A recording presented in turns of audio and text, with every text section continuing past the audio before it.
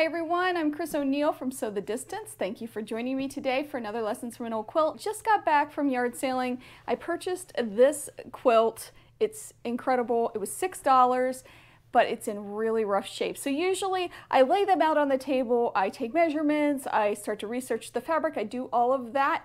However, this quilt stinks so bad that I'm gonna do things a bit different. Upon inspection, this quilt was put together later. and In fact, I believe the top is really, really old, which I'll tell you more about later in this video. The backing and the batting, it was probably put on much, much later. My guess is like even the 1970s, 1980s, something like that. The batting is absolutely polyester. The thread that was used to put this on is polyester too, and it stinks so bad. The whole thing just reeks. I can't even stand to handle it. So what I'm gonna do is take the backing off. I'm gonna take the ties out and I'm gonna discard all of the batting, the backing, all of that stuff that I can't use. It's in really rough shape, trust me. I'm also gonna wash the top and I'm gonna meet you back here when we can talk more about this quilt. Here it is, it is clean, it smells good. I can finally uh, handle it and not be totally grossed out. It was so filthy. I had to rinse it many times to get it clean. I do have a short video on my channel showing me washing it. I used Biz baking soda and vinegar, but I heard from one of the viewers that the vinegar and baking soda cancel each other out. I've been using that mixture for a very long time, but I am going to try just the detergent, which is Biz. I love Biz for this. The amounts of stuff I use to clean it, it really depends on how soiled it is, how much of a risk I'm willing to take. So I'm always reluctant to tell people a recipe of what I use. I personally don't care for retro clean. I know a lot of people use it. However, I am a little annoyed that the package is so small and that's what bugs me about it. Biz seems to work really well. I get this at Walmart but back to the quilt. So this quilt measures 67 by 67 inches, so it's not a huge quilt. It was finished, I think, at a later date in the 1970s or so, like I had said. The fabrics are absolutely from the early 1900s maybe even some from the late 1800s. It is old. It's it's old. It's really old. I don't know if the blocks were maybe found at a later date, however, because the blocks are machine pieced together, even though they are hand pieced onto their foundation. So who knows what the history is there. They could have been machine pieced together by the maker. I'm not sure. The fabric is made up of mostly cottons. I use these two books uh, for the majority of my research, but I also have a whole bunch of other things that I use to find out information about old quilts. So let's take a closer look at this beauty and see what we can learn from it. Look how little these pieces are. I mean, just look at them against my hand. These are itty bitty pieces and this is so, so cool. So let's look at the block because it is a little hard to see. You can see it here. Here it is, and it measures about six and a half by six and a half there are 21 pieces in each one of these blocks. And since there are 121 blocks in this, that means there are 2,541 pieces in this quilt. Can you imagine? Oh my goodness. So this was foundation pieced by hand, and you can see some of the stitches right here. Let me move these out of the way. And we'll look on the back so you can even see it better how it was actually made. I do have a tutorial up on this block, however, where I uh, used it as inspiration, but this one was pieced by hand in my tutorial. It's done by machine, but you could do it by hand if you wanted to. The red center is classic for log cabin blocks. The significance of this is the hearth of the home or the fire in the middle of the home. Before I flip it over to show you the back and the foundation, let's talk about some of these incredible fabrics. So we see a lot of shirtings, there's some wools, there's some heavier fabrics and then there's some lighter fabrics, which might be why the wear is a little bit different. When we look at this quilt, we see a overall red, white, and blue quilt.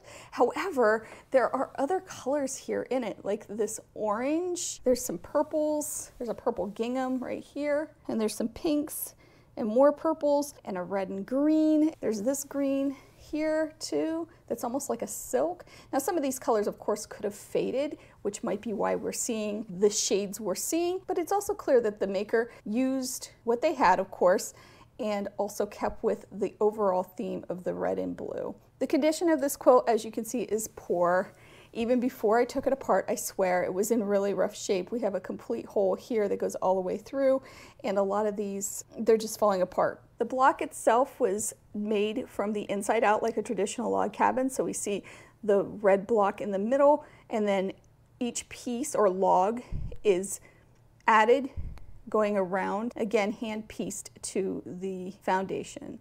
We also see that it's light on one side and dark on the other. And this classic layout of seeing a stripe down through here is called Fields and Furrow. It's one of my favorite layouts with log cabins, although there's a bazillion. Put a link below in the description if you want to learn more about the different layouts of log cabin quilts. One thing I really love and appreciate are the stripes and you can see how they're going the direction of the block. I love that. And we see that over and over again. So I don't think it was a happy accident. So let's turn it over and we can see how this is made. The blocks were put onto a muslin. You can see that they're hand stitched if you look real closely. It is hand stitched down with an off-white thread. There are a few blocks that they did not use off-white thread, however, like, uh, let's see, this one.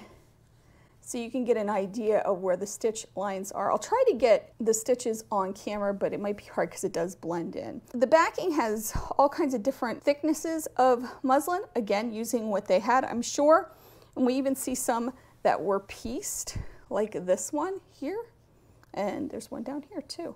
So whatever scraps they had, they would add on these strips. There are also a lot of stains. This red, I believe, is from the backing that was on this although there's some red fabric here that could have bled through. We also see how this green also bled through. Unfortunately, there's also a lot of stains that I could not get out with washing. There's one here, and there's a pretty large one here that I worked on to get out. We see again that green here. It's in rough shape, but boy, is it a cool quilt. Flip it back around.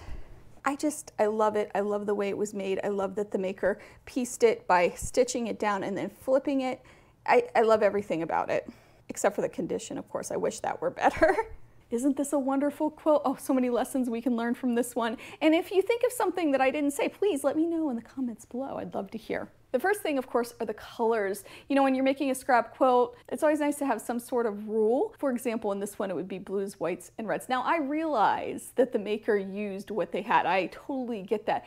But I just find it hard to believe there weren't some sort of colorway plan in this too. Either that or those were the colors that they wore a lot of. I'm just surprised there aren't as many browns in this.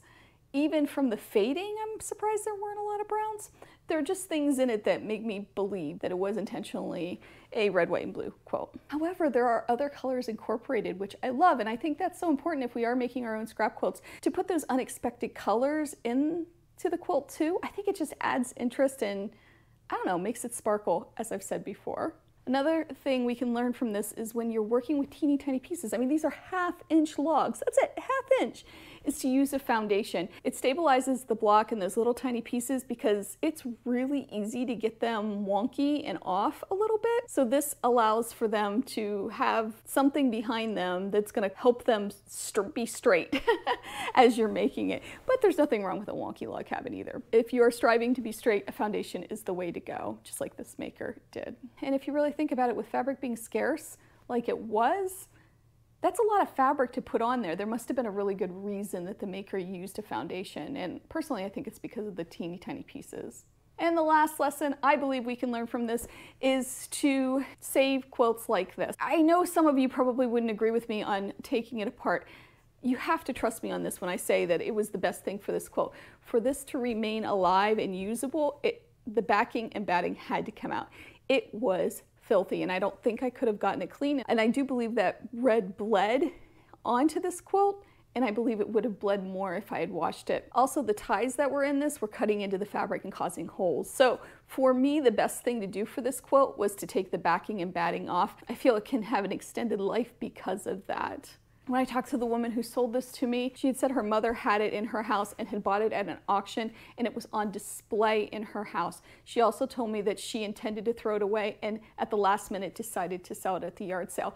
So it wasn't probably going to end well for this quilt had I not bought it. Maybe somebody else would have bought it, but you don't know. You never know. I feel like I saved this quilt by taking it apart because now I can at least have it near me Trust me, it stunk.